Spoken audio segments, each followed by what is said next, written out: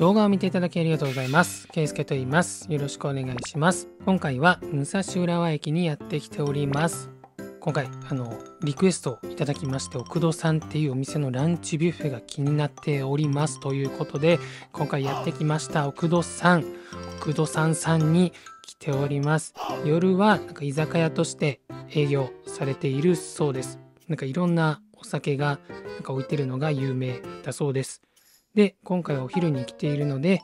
今回はお惣菜食べ放題ドリンクバー付きビュッフェランチを食べに来ております。選べる一品、そして健康ドリンクバー、もう超健康になれそう。ということで、こちらのお昼ご飯、黒さんのお昼ご飯を食べてみたいと思います。ということで、入店しました。卓上の調味料はこのような感じです。塩、だし醤油、絹醤油などなどあります。でこのお惣菜ビュッフェ単体は1290円税抜きで注文することができます。で、右に行きますと、この本日の選べる一品、こちらのメニューも全てに惣菜ビュッフェがついているといった感じです。で、お酒の種類もすごい豊富にあって、なんかこちら焼酎なんですけども、プレミアム日本酒付き飲み放題なんかも行ってるそうなんで、日本酒付きの方には多分たまらん飲み放題だと思います。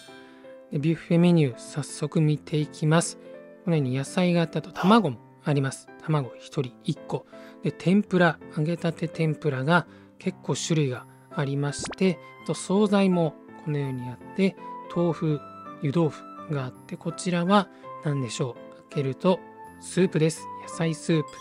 で、健康ドリンクバー。健康ドリンクバーはいろいろあって、コーヒー、トコーヒーと、あとなんかお湯で出すタイプのお茶などあって、あと野菜ジュースがあります。それでは1周目持ってきました野菜となんか銀醸豆腐っていうのといろいろ持ってきました。なんかドレッシングはちょっと名前が書いてないんでちょっと不明ですがなんかいろいろ入ってそうなドレッシングです。で天ぷらこちらも全種類持ってきております。ちょっと盛り付けが下手なのは許してくださいませ。で、温泉卵もあって、なんか卵は1人1個です。で、温泉卵はすごいなんかレア枠でした。数が少なかったです。で、野菜ジュース、紫の野菜ジュースと、こちらがメインの鮮魚とマグロの海鮮丼となります。漬物もこのように一緒に添えられております。で、全部が揃って引きで見ると、すっごいボリュームになりました。それでは、いただきます。今日も野菜からいただこうかなと思うんですけども、まず銀醸桶豆腐という豆腐です。なんかすごい弾力で、なかなかこう、お箸で持っても切ろうとしても切れないという弾力でした。で、早速食べてみたら、なんかいつもの豆腐よりもなんか味、豆腐、豆の味が濃い気がします。で醤油かけて食べます。でなんか銀醸っていうのは酒と醤油味噌などの吟味した原料を用いて作ることを言うそうです。で野菜はすごいどれもシャッキシャキ新鮮でなんかドレッシングも美味しくて本当に健康になれそうです。でバターナッツかぼちゃっていう珍しい野菜があったりもうそのこの大根の輪切りもうシャッキシャキで本当に超みずみずしくて辛みもなくて非常に美味しくてあっという間に野菜完食です。で次天ぷらたち。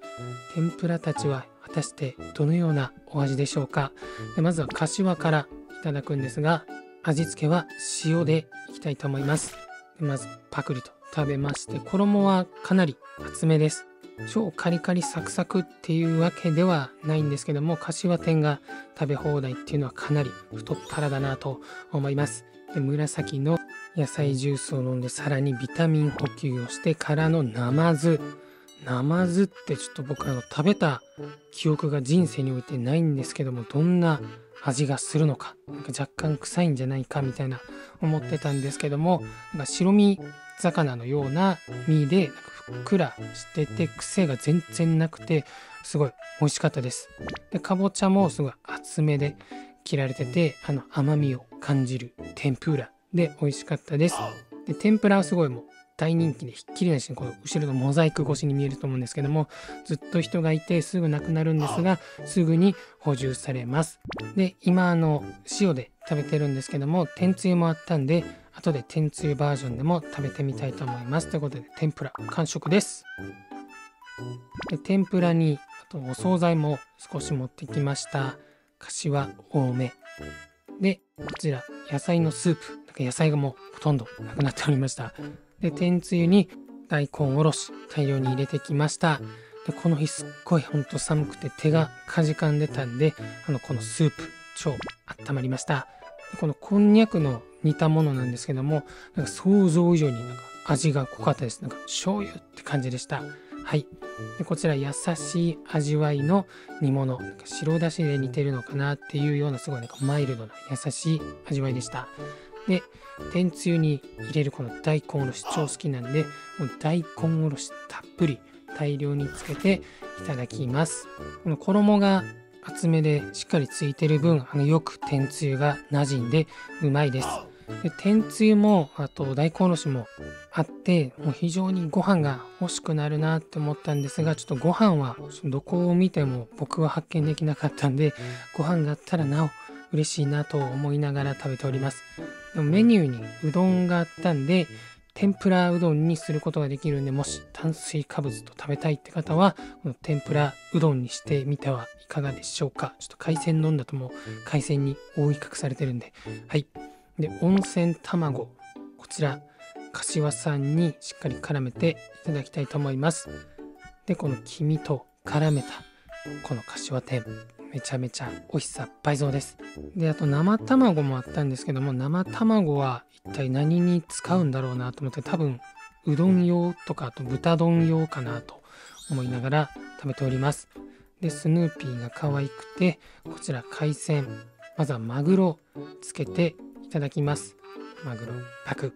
思ったよりこの丼小ぶりでしたね。通常のお茶碗1杯分ぐらいかなって感じです。でもこちら1450円で海鮮丼とあとこの惣菜ビュッフェ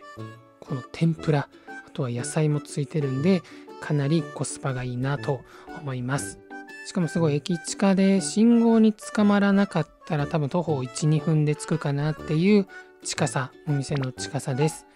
あと他にもあのねさっきも言ったんですけど味噌豚重やうどんなどがあってちょっと味噌豚重も食べてみたかったんですけどもちょっと海鮮丼が気になりすぎて今回海鮮丼にしちゃいました。でうどんは他の方が頼んでたのをちょっとちらっと見させてもらったんですが武蔵野うどんっぽくてかなり歯ごたえがありそうなうどんでした。ということで寿司を食う泰治さんが言ってるんですけどもそちらちょっと挟ませていただいてからのブリ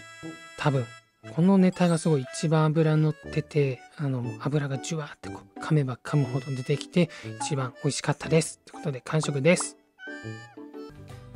で最後天ぷらと野菜たち持ってきました。であとは筑前煮もちょっと添えております。ごぼう人参れんこんこんにゃく。あとは金の野菜ジュース名前に惹かれて持ってきました。で筑前煮はすごい優しい味付けで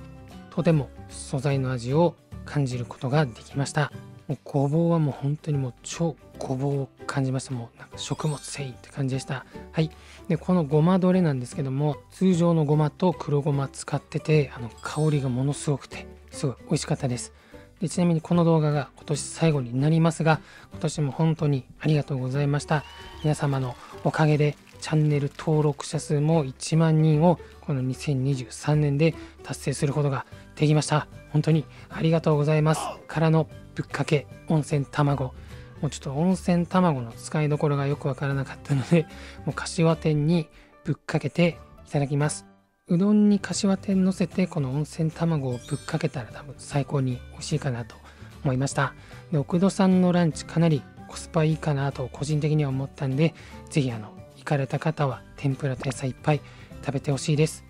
で皆さん2023年も今日で終わりますがどんな年でしたでしょうか？僕的にはちょっとコロナも落ち着いて自由になんかいろいろできて嬉しいなって思った年です。で2024年で気づけば約四半世紀経ちましたがより良い年にしてくださいませ皆さん。はい。でどうでもいいんですけども鏡餅って割ったことなんかのガチなやつないんですけども皆さん来年終わる予定がある方っていますでしょうか？最近のあの鏡餅ってあの形だけ容器で作って中にちっちゃい餅が入ってるタイプになってるなと思いましてってことで完食です。はい。でコーヒーを最後に飲むんですがこのコーヒーかなりマイルドでなんか苦味だけじゃなくて甘みも感じるような美味しいコーヒーでした。これにデザートがあったら最高に合うなと思いました。ショートケーキとかあったら最高です。はい。ということで私食べ放題やデカ盛りコスパ店など皆さんが食べに行く際の参考になるような動画を楽しくアップしていく予定なのでこの動画が楽しい良かった美味しそうだった心に響いたなどなど思っていただけたら高評価チャンネル登録していただけるととても嬉しいですということでごちそうさまでした